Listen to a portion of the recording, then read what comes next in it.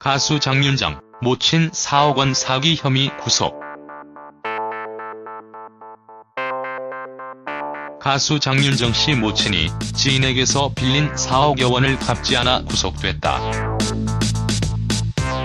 강원 원주경찰서는 14일 사기 혐의로 육모 씨를 구속했다. 육 씨는 2015년부터 2017년까지 지인 A씨로부터 수차례에 걸쳐 총 4억 1,500만 원을 빌렸으나 갚지 않은 혐의를 받는다. A씨는 지난해 말 육 씨를 사기 혐의로 고소했다. 경찰은 육 씨가 주거지인 원주 주거지에 없고 나타나지도 않자 체포 영장을 발부받아 지난 12일 경기 양평에서 육 씨를 붙잡았다. 육 씨는 돈을 빌린 건 맞지만 사기는 아니다고 주장하는 것으로 전해졌다. 경찰은 육 씨를 상대로 사건 경위를 조사하고 있다.